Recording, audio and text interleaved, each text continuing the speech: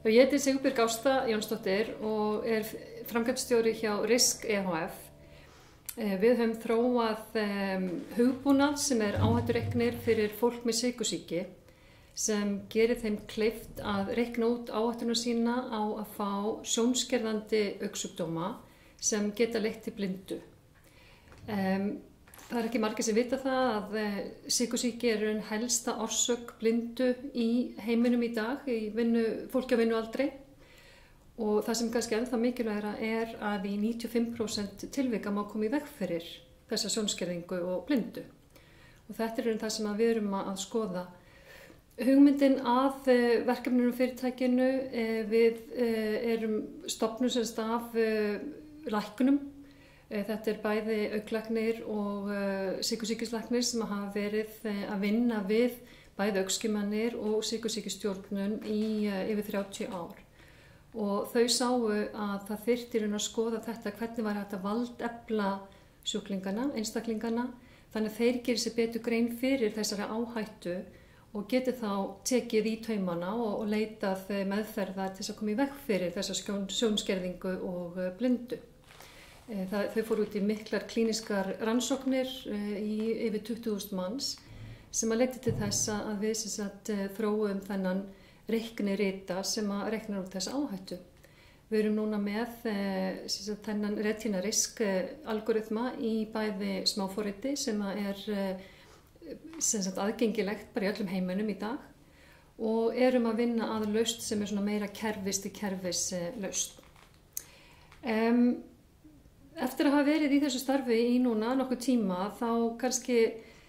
helst svona sem ég myndi segja eh, hvað eh, myndi vera að varast og svona hverju kannski okkar reynsla er. Um, það er afa mikilvægt eh, að skilgreina vel að greina fyrst markaðinn, sjá svona hvar passar þessi vara og mjög mikilvægt að, að skilgreina vel markhópin eins og í okkar tilviki er það nokkuð ljóst það eru núna í dag 463 miljón manna með sykusíki heiminum í dag og gert ráð fyrir að þessi tala verði komin yfir 700 miljónir eftir 15 ár, þannig verðum að tala um gigantískan fjölda. Um, þannig að það er mjög mikilvægt að vita hvar þú serð að vara þín getur nýst og, og ég held að það hafi verið í okkar tilviki til dælu auguljóst. Um, þegar við gerðum viðskipta áallan og slíks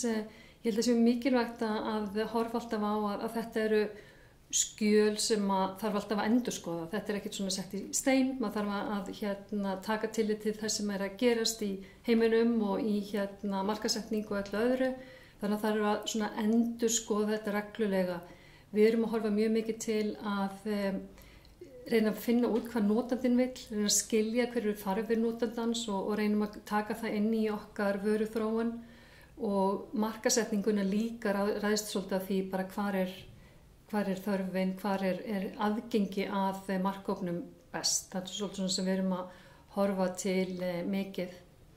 Um, ég myndi segja að það er líka mikilvægt við stopnum fyrirtækja að hafa alla stoppsamninga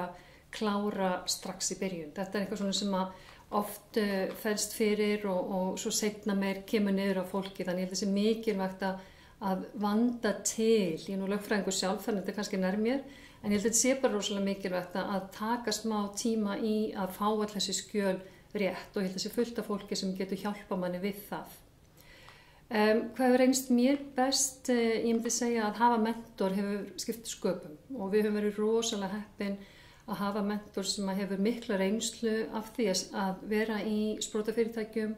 bæði að hafa fjárfest í en ekki síður hafa rekið fyrirtæki eh, flest sem hafa gengið vel en líka sem hafa ekki gengið vel. Og það er gríðilegu lærdómur af slíku þannig að það að, að prófa sig áfram og það er kannski annað líka sem að eh, hefur mikilvægt fyrir okkur verið duglega að prófa okkur áfram bæði varðandi vöru þróunina setja fram einhverja nýja hérna atriði í smáfórið okkar sem er kannski ekki virkað og taka þá þá bara út aftur og líka vanandi markasetninguna við erum búin að fara svolítið út um allan heim að prófa hvar er áhugi og höfum svo núna séð að fyrir okkur er það núna í Asíu en að prófa sig áfram þetta skiptir svakalega miklu máli. En eins og segja að hafa eitthvað aðganga mentor sem að getur hjálpa með allt þetta skiptir svakalega miklu máli finnst mér